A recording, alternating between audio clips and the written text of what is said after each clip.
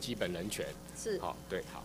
那再来哈，你认为说啊，对那个三岁以下的小孩子哈，可以啊，看守所里面他可以带三岁以下的小孩子。那如果三岁以上呢？其实三岁以下就很大的争议了。其实我一直认为，小孩子在妈妈身边长大，不但对小孩的这种亲情的关系建立很很重要，对妈妈的一种责任感的建立，重回社会的这种这种激励的作用也很重要。所以其实我是赞成的，但是有很多学者专家连这样都反对，认为说这个年龄要再降低甚至取消。所以这是一个非常有争议、有很多不同意见的一个议题。所以委员的意思好像说应该再提高，是不是？因为在提高的话，我是觉得有些学者的讲法，我也相相信相当有道理，就说他已经能够识别事情了，所以他发现他是在监狱的监所的环境中，他可能对他的心理上会有比较大的不好的影响，比那个年纪很小的小孩，他对远一点、比较宽一点的社会环境比较理解力不是那么高。所以影响反而是跟直接相处的人关系比较大，所以在年龄要不要放宽这一点，我们目前是比较稍微持保留的态度，除非有更多的学理证明说这对孩子的心理影响呃没有什么太大的负面，而且正面比较多，我才比较会赞。那你你对于了哈啊，现在只有女性的部分好可以三岁以下好，因为强保法或什么的，那如果男性呢，他如果是个单亲失婚的呢？从如果从性别平等的角度，好像理所当然。可是实际上，监所里面由男性照顾孩子，他不是光是要给他一个说可以跟在妈呃爸爸或妈妈身边这样一个机会。而还要有一些配套的措施，就是说他要有一些附属的设施，可以让孩子在那边游戏，可以在那边有一个比较温馨的一个场所在那边活动。所以这些还要看一个实际面的状况。所以好，还有就是说男性他照顾孩子的能力，好，我们不敢一概一以偏概全说所有男性照顾子女能力都不如女性。那你你认不认为看守所应该规划育婴的空间，或小孩子的另外的空间？看守所的状况是它比较复杂，因为它的人的流动很快，留的时间很短，所以他这个人进进出出的状况，也就是比较难以掌控。我们在像台中女子监狱有附设这种可以照顾孩子的场所，其实还要跟外面这个监所外的社会资源连接，请外面的育亲专家、幼教老师到这这些都是细节嘛，这些都是细节嘛，都是政府该。我只我只问，我只请教部长。你认不认为应该，嘿，多规划？我们修法里面有有建立这个空间，但是实际面上能不能实现，就要看具体个别的条件。所以你也认同嘛？哈，对，我们有把它这个修法上有保留这个空间。好，哇，部长你对哈，我看你对这个人权啊什么哈，对这个你对很重视嘛哈。那我回过头来请教你。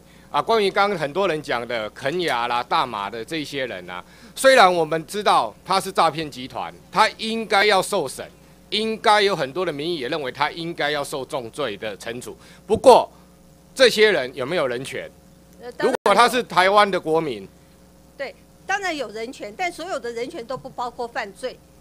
啊？刚刚不是部长，你你所讲的，我说犯罪的人有没有人权？你也说有哦。对呀。那为什么你现在态度是不一样？我说的不包括犯罪，不是不包括罪犯了。我是说不包括犯罪行为，也是人的权利。犯罪行为我们不管。我我刚请教部长的是，这些人虽然犯罪了，我们也认为他应该要重罚。是。好，那这些人虽然犯罪，他有没有人权？有，有嘛哈？是。有嘛哈？那。就因为这样子的情况之下，我再请教一下哈，我们的两岸共打协议啊，我不知道部长你啊之前刚去访问回来哈，我们对这个部分诈骗集团部分，我们平常都是在怎么联系，再怎么联络的？其实第一个就是情资交换，好，就是他发现有台湾人在这边诈欺，或者说他发现有大陆人在台湾诈欺等等。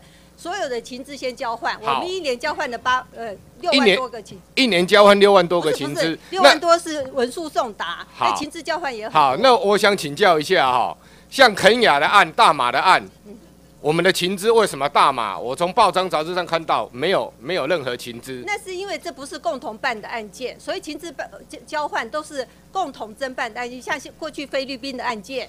就是还有人各自带回，都是共同办理的案件。我我想了哈，如果部长你刚认为啊，犯罪人也应该有人权，那这些人啊，我相信也不止肯雅案，也不止大马，应该有很多的案子都还在。我们法务部有掌握资料吗？或外交部有给你任何资料吗？外交部通常比较不会提供，但是我们会努力去跟大陆要。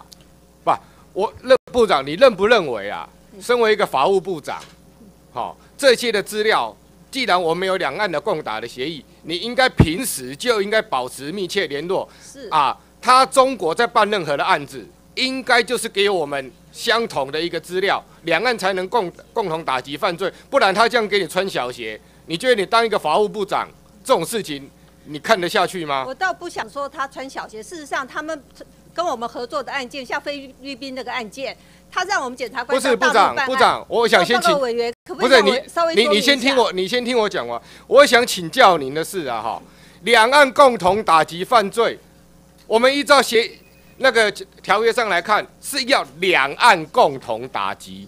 你现在的说法好像是中国单方面，他选择了哪一个案子要你跟你共同侦办。他选择，他不想跟你共同侦办，他就不要。报告委员，这样子条约的精神合理吗？报告委员，我们自己也是这样啊。我们办大陆人的案件，如果我觉得自己办就可以了，我不用跟他合作办，我们也是自己侦办呐。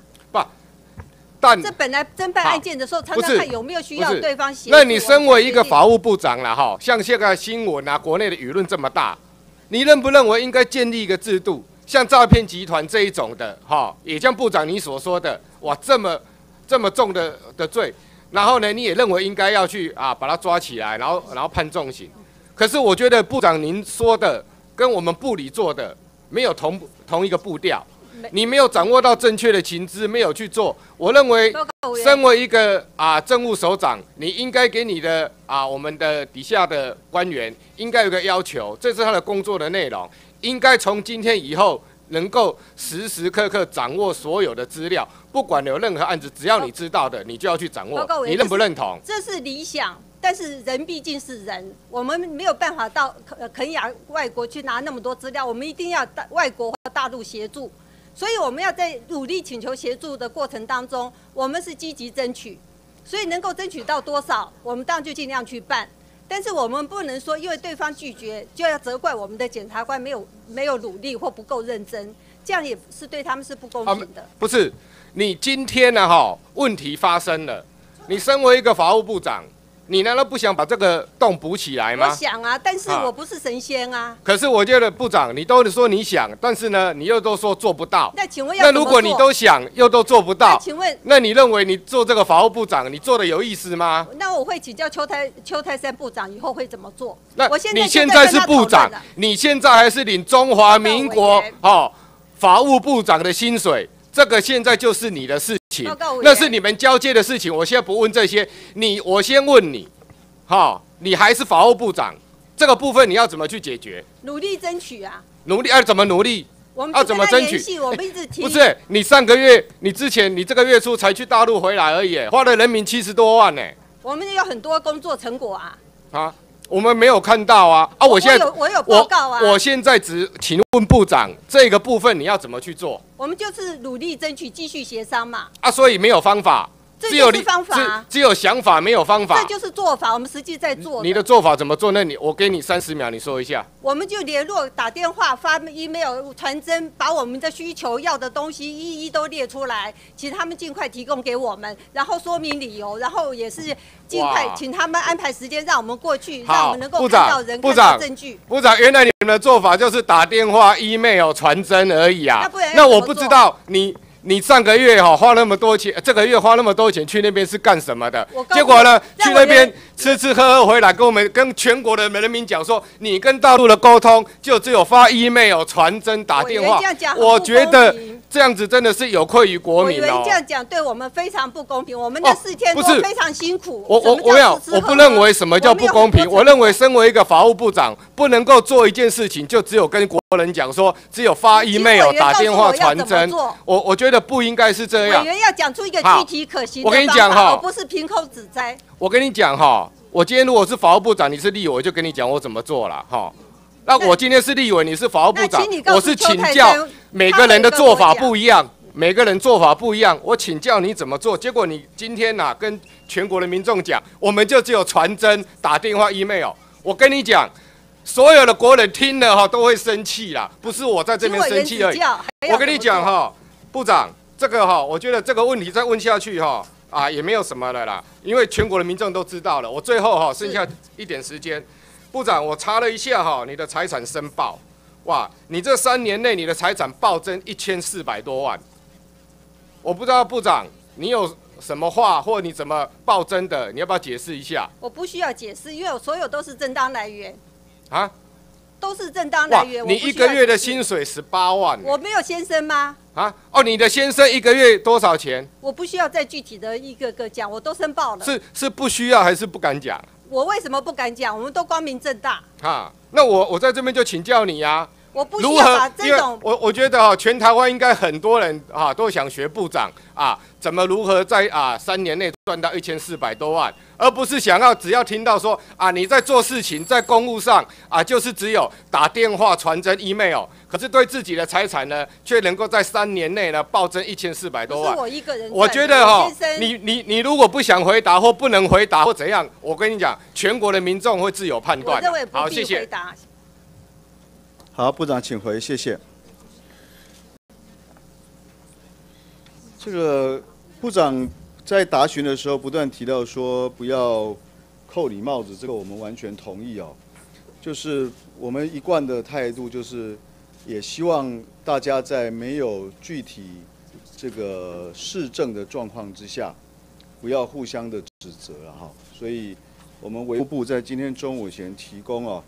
法务部在四月十六号所发新闻稿，自己错了还怪人，这里面有多次提到徐永明等立委或这些立委，这个这些立委啊，有三个地方提到或者政党，那么请法务部呢能够清楚说明这些立委指的是谁？好，我们相互尊重啊，相互澄清。好，中午以前请法务部把这个第三个资料。也送本会。好，我们接下来请许淑华委员，时间十二分钟。长，好，我们请罗部长，谢谢。应该还有吧？应该还有。呃徐委员好，部长好。今天所有的重点都在于你十六号发的新闻稿啊。呃，部长是这样啊，我想现在我们的呃立院也都有转播。那事实上，我觉得你的新闻稿当中呢说的也很具体啊。那有很多委员特别针对你说了等委员哈、我觉得你觉我先请教那个部长，你觉得你有冤枉这些委员吗？没有。其实我们已经找